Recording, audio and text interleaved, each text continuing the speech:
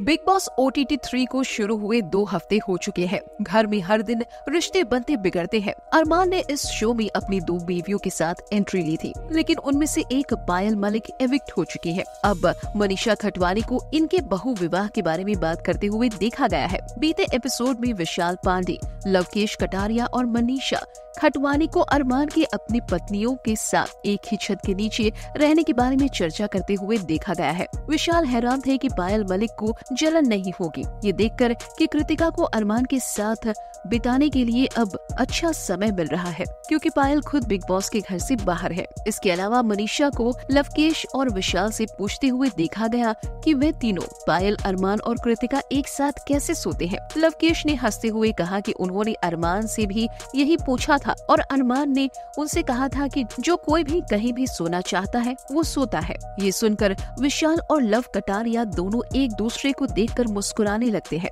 बाद में मनीषा कहती है कि ये उनकी निजी ज़िंदगी है। उन्होंने ये भी कहा कि पायल और कृतिका अच्छा बॉन्ड शेयर करती है। फ़िलहाल आपका इस पर क्या कहना है? हमें कमेंट करके ज़रूर बताएँ।